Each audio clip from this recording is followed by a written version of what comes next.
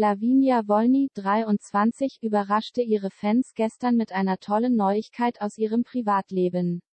Die Tochter von Großfamilienoberhaupt Silvia Wolny, 57, und ihr Verlobter Tim Katzenbauer dürfen sich nach ihrer kleinen Tochter Hailey Emilia auf weiteren Nachwuchs freuen. Die Die Wolnys Protagonistin ist nämlich erneut schwanger und erwartet ihr zweites Kind.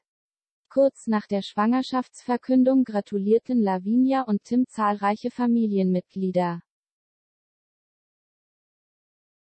Auf ihren Instagram-Profilen brachten die Wollnys jetzt ihre große Vorfreude auf das Baby zum Ausdruck.